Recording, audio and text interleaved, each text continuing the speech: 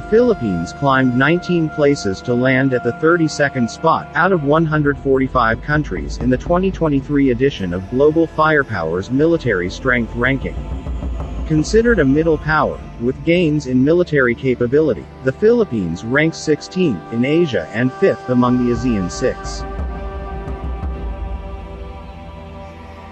The Philippines' strongest measure is defense networks, outpacing its regional peers, where it places ninth, reflecting the extent of its bilateral military cooperation with treaty allies with the United States. The score for defense networks is measured by a country's regional alliances, global defense partnerships, and regional defense diplomacy. Meanwhile, its military capacity also improved by two places, ranking to 17th place. As the country inched up its future resources score or the measurement for its projected distribution of future economic, military, and demographic resources. The Philippines also exerts more influence in the region than expected given its available resources, as indicated by the country's positive power gap score. When it comes to the arms trade, the Institute reported that South Korea is the Philippines' most significant arms trade partner with deals worth around $692 million. The US comes in second with $384 million, followed by Indonesia with $180 million, Australia with $16 million, and trading numbers with Japan with a total of $6 million. The Asia Power Index also reported the Philippines posted gains in diplomatic influence, which refers to a country's diplomatic network, multilateral power, and its foreign policy thrust. In addition, the countries hold high-level bilateral and plurilateral defense diplomacy meetings, include the US, Australia, Japan, Malaysia, and Indonesia.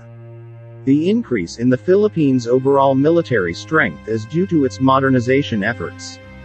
The Armed Forces of the Philippines is currently undertaking a modernization program, with countries such as France, Israel, and India offering to give new technology to the country.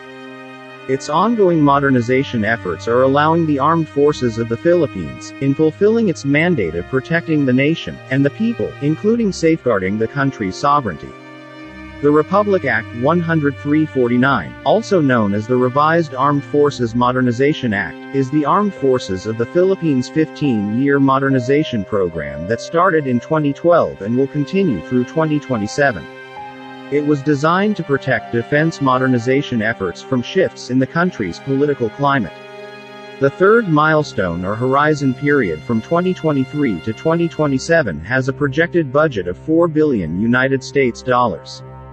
There are opportunities for the sale of aircraft, ships, unmanned vehicles, intelligence and surveillance systems, communications, personal protective equipment, and weapon systems.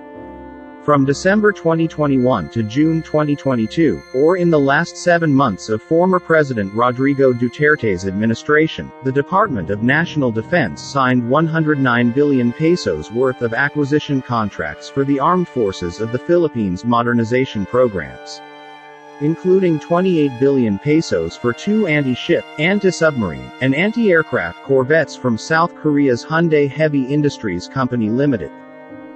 18.9 billion pesos for three shore-based supersonic ramjet missile batteries from India's BrahMos Aerospace. 32 billion pesos for 32 Black Hawk choppers from Poland's PZL Mielec, and 30 billion for six long-range offshore patrol vessels, also from South Korea's Hyundai Heavy Industries Company Limited. Last month, the Philippine Navy acquired its first ground-based air defense system, consisting of Israeli-made Spider missile batteries. Its objective is to neutralize any potential aerial threat or foreign aircraft intrusion in the country's airspace. However, this system is categorized as a secondary air defense cover after the PAF's FA-50PH light jet fighters, earlier acquired from South Korea. This acquisition costing 6.8 billion pesos is not mentioned in the USSD report.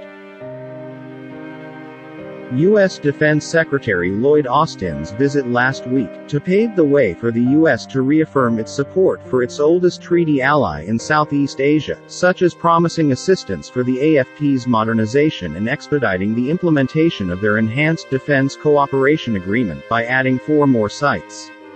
This means U.S. troops will soon have access to nine Philippine military facilities. The two countries also agreed to restart joint patrols in the West Philippine Sea. The Enhanced Defense Cooperation Agreement EDCA, supplements the Visiting Forces Agreement VFA, under the Mutual Defense Treaty, intended to bolster the alliance of the Philippines and the United States of America.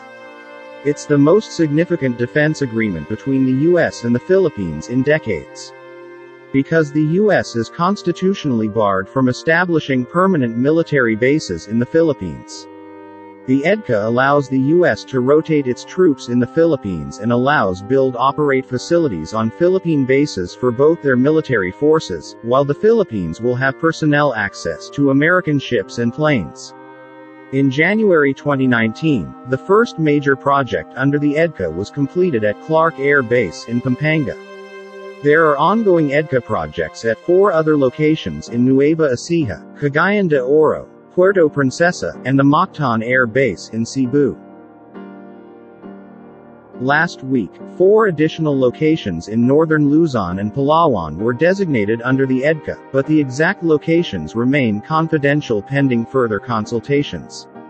Extensive access to key locations facing the West Philippine Sea, Luzon Strait, and possibly the Pacific Ocean underscores America's goal to develop integrated deterrence.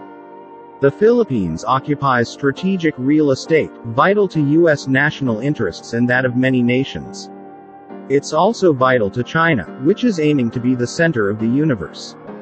It's vital to the economic interests of countries that rely on safe passage through sea lines of communication. Furthermore, it's vital for countries in the Indo-Pacific region to dissuade China from pursuing its hegemonic plans.